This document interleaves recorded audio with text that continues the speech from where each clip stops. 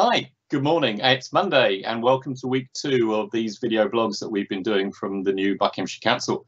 Um, I'm Martin Tett, I'm the leader of the Council's executive and what we're trying to do is keep you up to date each day with some of the latest developments and support you can get from the new Buckinghamshire Council. Uh, feel free to forward this uh, video blog on to any of your colleagues or street associations or groups you're also in touch with locally. So we really want to spread these messages as quickly and as widely as we can. So week two, um, what a change a week brings. This time last week, we were recording the first one of this.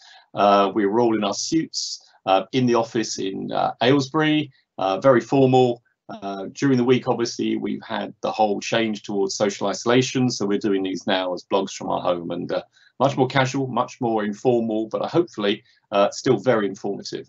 So just a couple of headlines from me. Uh, first of all, anyone who lives in the Chiltern and Wycombe district council areas, uh, you'll have noticed there have been issues with the collection of recyclables. Um, they were interrupted last week because of staff shortages.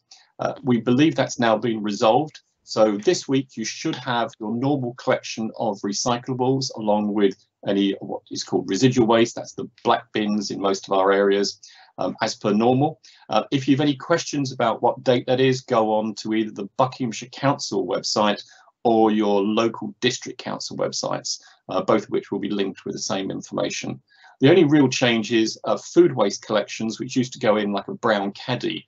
Uh, that now won't take place because of the, the staffing issue.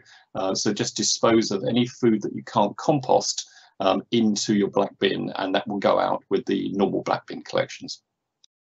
The only other thing I just wanted to say before introducing our guest speaker for today is I've just been amazed at the number of people are sending me information on local community groups that have been setting up in the last week. Um, a week ago, these things barely existed. Uh, now we've got hundreds of them, quite literally right across the county. Uh, they vary from town groups, village groups, street groups, uh, faith groups, uh, and in some cases, I've actually had one uh, mail me about a pub group uh, they're set up to actually look after some of the regulars in the pub. And it's just great, quite frankly, the way in which the communities across Buckinghamshire have rallied together. And what I'd like to do maybe in some of the, the future versions of this video blog is to give you some examples from particular areas um, from right across the county. It's just fantastic, to be honest, uh, and quite frankly, inspirational. Uh, so I'm going to introduce my guest speaker for today. Uh, that's Sarah Ashmead.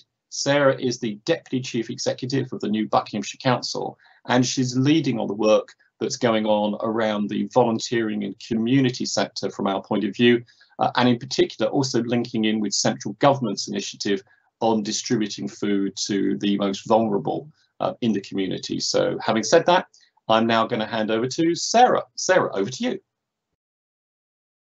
Thank you, Martin.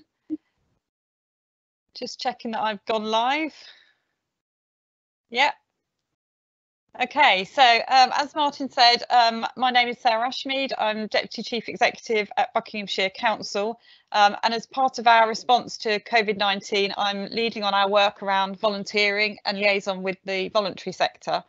Um, as Martin has said, we've got absolutely fantastic activity taking place across Buckinghamshire by community groups, voluntary sector groups, town and parish councils who've all set up uh, various initiatives to to help people in various different ways who are self-isolating or shielded at home. Um, and if you go on our website uh, and you can type in your postcode, you can actually see the groups operating in your area. So if you know somebody who needs help, please go onto our website, um, identify those groups um, and connect people into all those community activities that are taking place across the county. Um, I wanted to talk particularly about what we're doing um, at the moment in Buckinghamshire around the group that are called um, the Shielded Group. Um, if you're in this group, um, you are there because you have a, a, particular medical condition which places you at particular risk um, in the current climate. And you will probably have received a letter from your GP asking you to take various steps to make sure you are shielded. Um, and also saying that if, if you need help, if you haven't got access to family or support networks right now who can help you, um, you will have had the invitation to sign up on the government's website or to use their, their call line um, and register that you need help. So in Buckinghamshire at the moment, uh, we have a, a, number of people who have registered And today we have received um, food parcels from the government that have come into our distribution centre and we have established eight hubs or hub teams across the county who will be uh, today, tomorrow, distributing that food out to the people who've said that they uh, they are in urgent need of food um, and daily supplies. This is an interim measure, so we expect this to, to be needed for the next week before the government's own direct delivery starts um, happening.